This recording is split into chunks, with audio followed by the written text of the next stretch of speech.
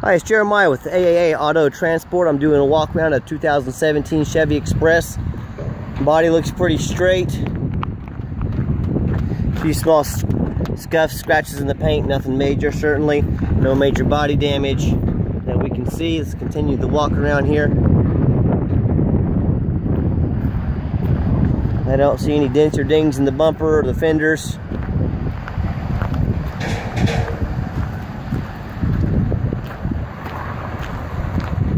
Overall, everything looks good, so I just wanted to make this quick video